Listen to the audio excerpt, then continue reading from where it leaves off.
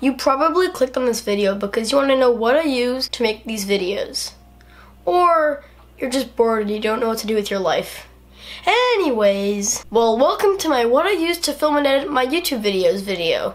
Today I'll be telling you, you guessed it, my morning routine.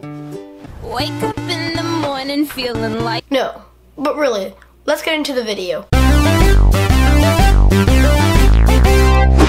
First I use a mirrorless camera, specifically the Panasonic Lumix DMC FZ300. It's an amazing camera which I highly recommend. It's simple, easy to use, and produces the best pictures and video. For my tripod, I use a Ravelli APLT4 61 inch lightweight aluminum tripod. I've had no problems except for the pan isn't so smooth. But for my low shots, I use a Joby GorillaPod. I've had a blast using it. Some of the shots I took with this were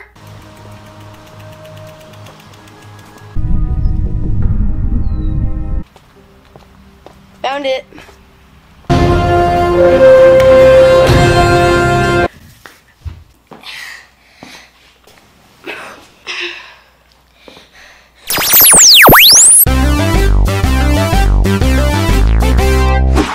Lighting is very important. That is why I purchased these guys.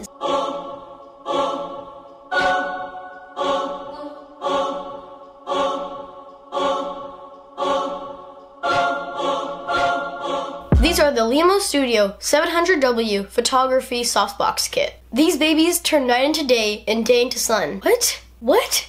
These are really bright and make any sit down video top notch. For example, this is with the light on, this is with the light off.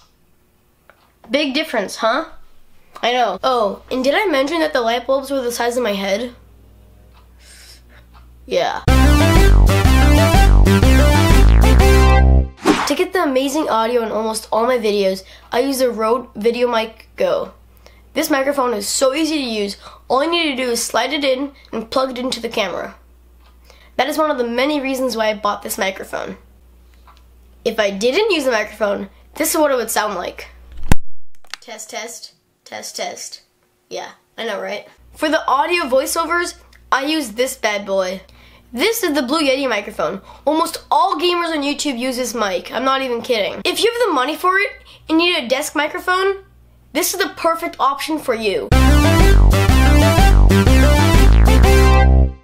Now onto the green screens I use. The first one is the Fotodiox 5x7 collapsible green screen. This green screen is amazing and does what a green screen should do. But the only problem I have with it is I can't fold it back down. Watch.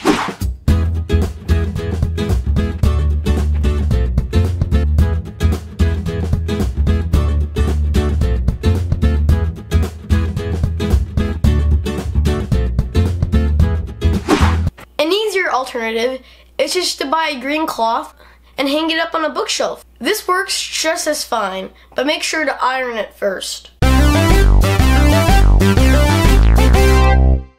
Now for my favorite piece of equipment. This is something you cannot buy in any store. Actually, my dad and I made this. We made this out of PVC pipe, metal pipe, and a block of wood. This is used for getting perfect and steady shots you wouldn't be able to achieve by just holding a camera.